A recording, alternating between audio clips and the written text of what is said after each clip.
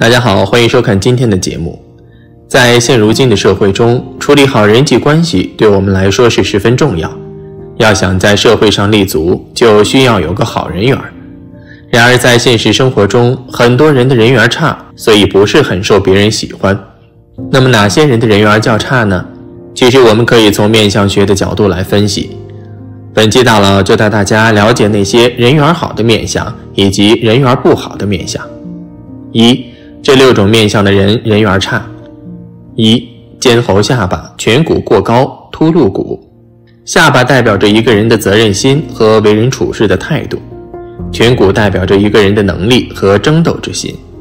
如果一个人的颧骨长得尖耸露骨，下巴长得尖削如猴的话，这种人一般个性非常自私。虽然沟通和交流能力比较强，但凡事都是以自我为中心。说话做事时，有时候不太注意方式和方法，性格还比较强势，喜欢把自己的想法强加给别人，特别爱表现。俗话说过犹不及，所以特别容易得罪人，容易被别人孤立。即使取得一些成就，也得不到他人的尊重和信服，人缘非常差。二，鼻型尖尖细细，小嘴小下巴。鼻子在面相学中代表着一个人的自我和自尊，嘴巴代表着一个人的表达能力和享受欲，下巴代表着一个人的晚年福气和财气。如果一个人的嘴巴长得较小，下巴和鼻子长得尖细的话，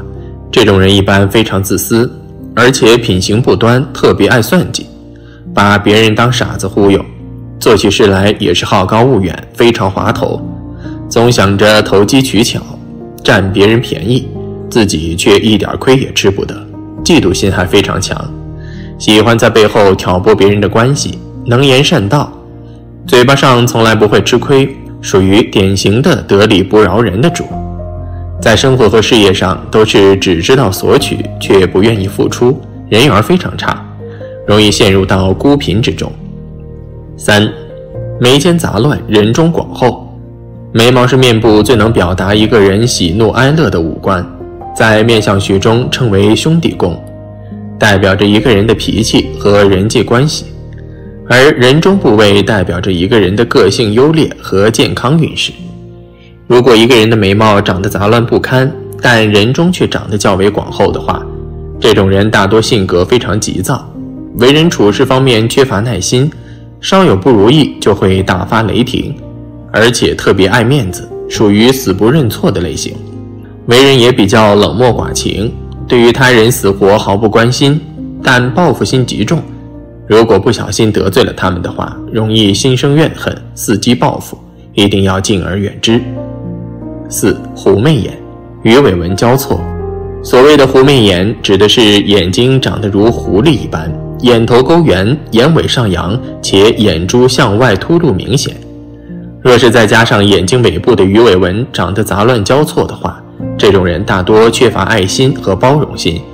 凡事喜欢斤斤计较。男人有此相缺乏风度，女人有此相没同情心，只顾自己享受和快活，从来不会顾及别人的感受，还喜欢在背后议论他人是非。当别人遇到困难时，只会冷眼旁观。不帮助就算了，甚至还会落井下石，人缘极差。当自己遇到困难时，自然也没人愿意出手帮助他们。五斗鸡眼，斗鸡眼很好辨认，指的是两个眼珠习惯于往鼻梁方向看。这种面相的人一般心胸非常狭窄，凡事喜欢计较，而且性格比较倔拗，常常与人作对，喜欢与人对着干。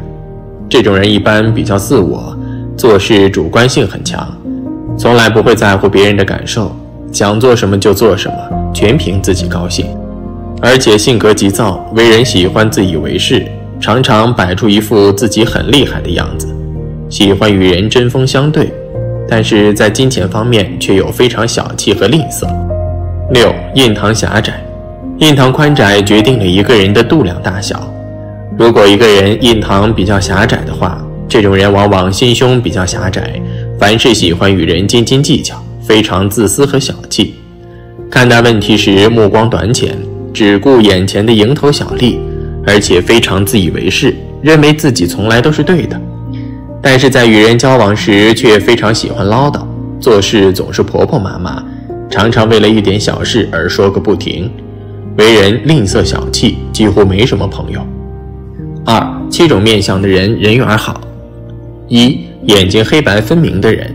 眼睛为心灵的窗户，眼睛可以反映出一个人真实的内心世界。如果一个人眼睛黑白分明的话，这种人一般非常聪明，内心比较正直，能够明辨是非，有着很强的洞察力和分析能力，情商和智商都比较高，所以在工作和生活中性格比较温和，心思比较细腻，懂得照顾别人感受，能够与人和谐相处，人缘非常好，也比较招人待见，最适合交朋友。二额头饱满的人。额头代表了一个人的智商和贵人运。如果一个人额头比较饱满的话，这种人一般比较聪明，智商比较高，并且心胸开阔，为人积极乐观，非常有上进心。即使遇到困难和挫折，也能保持乐观向上的态度去面对，并且为人非常热心，非常乐于助人。所以在他们遇到困难的时候，也常有贵人相助，人缘非常好。为典型的大富大贵之相。三嘴角上扬的人，嘴巴代表了一个人对外界人际关系的态度以及一个人的感情薄厚。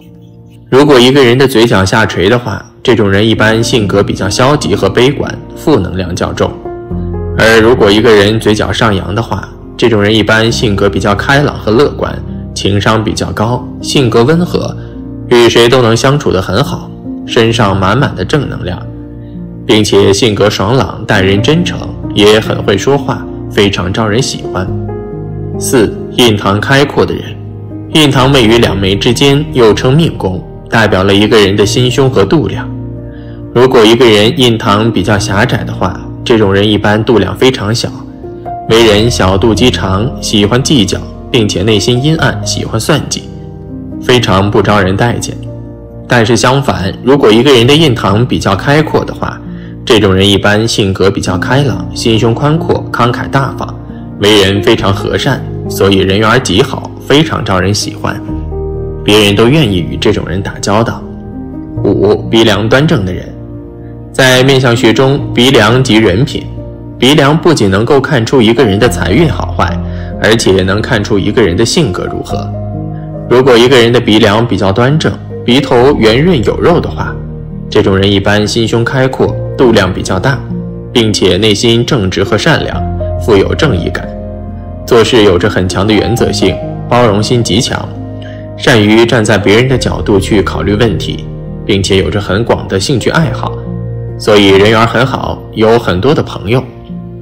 六，额头饱满光洁，从面相来看，额头人之神灯所在，代表人的家庭出身和早年运程，